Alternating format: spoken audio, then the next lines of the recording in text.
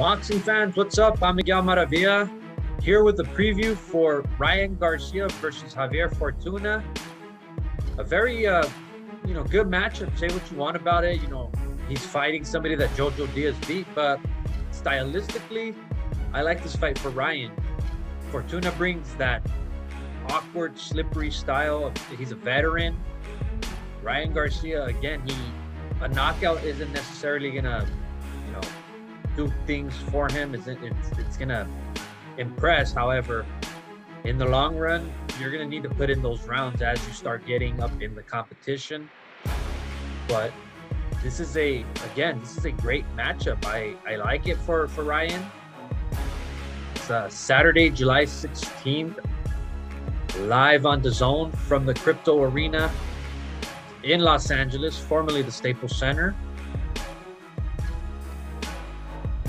The veteran Javier Fortuna, former world champion, won his first world title back in 2015 with a unanimous decision over Bryan Vasquez. His only defeats came at the hands of uh, Jason Sosa back in 2016 and a uh, very close decision to uh, Robert Easter Jr. in 2018 and last year a unanimous decision to uh, Joseph Diaz Jr.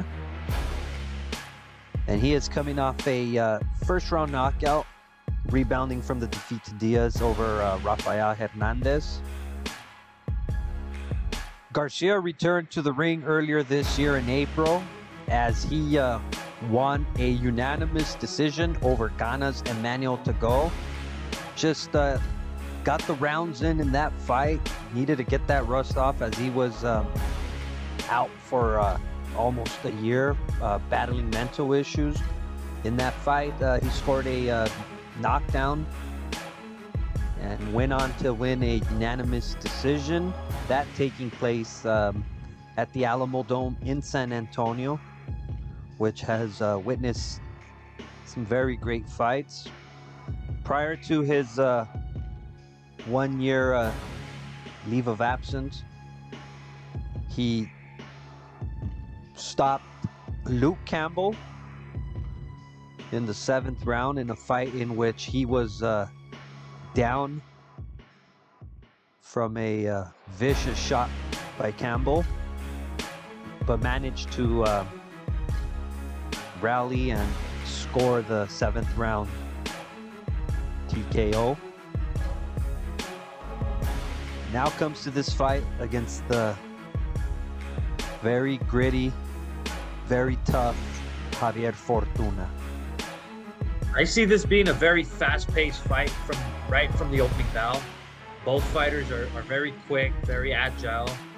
Fortuna again is going to make this. Uh, he's most likely going to try to make this a dog fight. Again, you have Ryan Garcia, who's very skilled, very flashy in that ring. A lot of pop, Fortuna experience. He himself has been battle tested.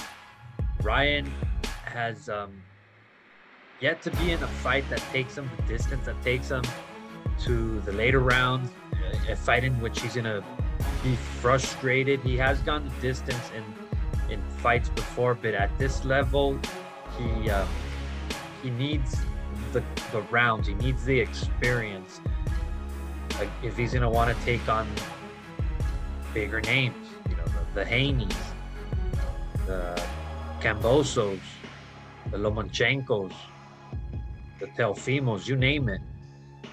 I see this fight very, uh, very strategic from from the get go. Towards the middle part of the of the fight, I, I do see uh, Ryan connecting with uh, some solid punches, but then Fortuna is going to mix it up with him. Fortuna is going to try to rough him up. Veteran tricks. These Dominican fighters are very slippery, very tricky, very awkward. However, Garcia does win this fight. I see him winning this fight by decision, possibly a late stoppage.